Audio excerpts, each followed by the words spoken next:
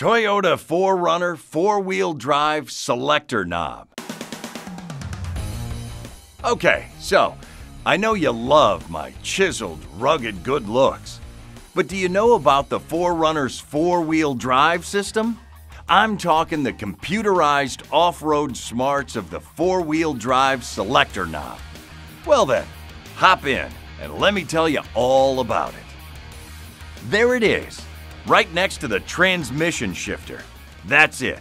The 4Runner Limited model allows you to go from different four-wheel drive modes with just the flip of an electronic selector knob. So you can select multiple gear speeds for different driving conditions.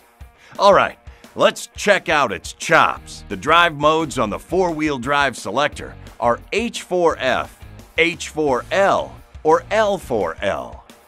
The H4F is the full-time, normal setting used for everyday driving on dry, paved roads when you want better fuel economy and a quieter ride and reduced component wear on everyday roads. But for veering off the beaten path, the next position on the dial is H4L. This four-wheel drive position is used for light off-road driving conditions and icy or snow-covered roads. To shift between H4F and H4L, push down on the selector knob and turn the control switch to H4L or back to H4F. This can be performed at any speed. L4L is the low-speed four-wheel drive position. This is a low-range four-wheel drive setting when maximum torque, power, and hardcore traction are needed.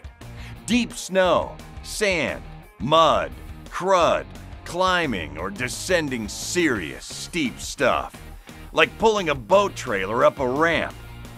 L4L should only be engaged at very low speeds. To shift into low four-wheel drive, you have to come to a complete stop and keep your foot on the brake pedal. Shift the transmission into neutral. Push down on the knob while turning the knob to the L4L position. Then shift the transmission into either a forward or reverse gear.